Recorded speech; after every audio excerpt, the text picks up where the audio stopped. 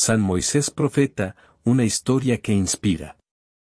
San Moisés Profeta es una figura importante para las religiones abrahámicas, donde se le venera como profeta, legislador y líder espiritual.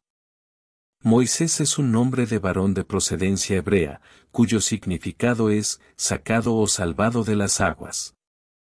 En el libro de Éxodo, el nacimiento de Moisés tuvo lugar cuando un indeterminado faraón egipcio había ordenado a las parteras, comadronas, que mataran a todo varón hebreo recién nacido, pero estas por temor a Dios no hicieron como se les mandó.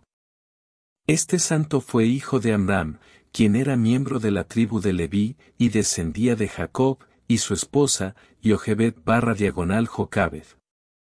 Moisés tuvo una hermana siete años mayor que él, Miriam, y un hermano tres años mayor que él, Aarón.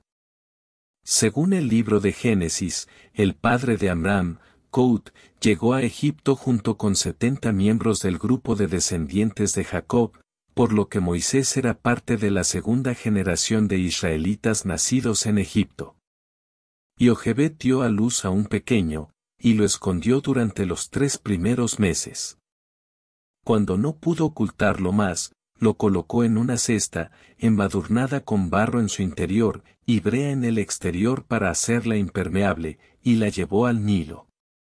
La cesta con el bebé fue observada, y seguida de cerca por Miriam hasta que la hija del faraón llegó al Nilo para bañarse. Moisés lideró al pueblo israelita en dirección este, iniciando así la larga travesía hacia la tierra prometida.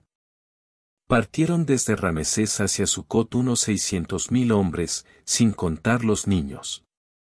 Llevaron consigo los restos de José, cumpliendo la voluntad de su predecesor.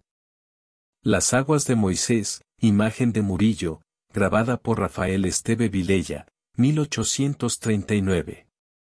La gran caravana de los hebreos se movía lentamente, y tuvo que acampar tres veces antes de dejar atrás la frontera egipcia, establecida entonces en el gran lago amargo o en la punta más septentrional del Mar Rojo. Moisés es un precursor de Jesús, a menudo se los compara e indica que Moisés es considerado un profeta y por consiguiente portador de la palabra de Dios. En el Evangelio, las enseñanzas y hechos de la vida de Jesús son comparados con aquellos de Moisés para explicar la misión de Jesús. Asimismo, figura a su vez en varios de los mensajes de Jesús.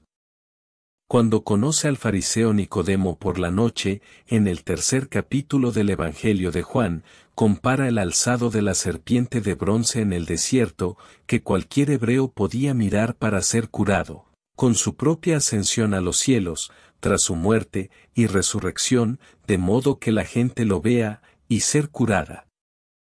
En el sexto capítulo, Jesús responde a sus seguidores que Moisés hizo que cayera el maná en el desierto diciendo que no había sido él, sino Yahvé, quien había obrado el milagro.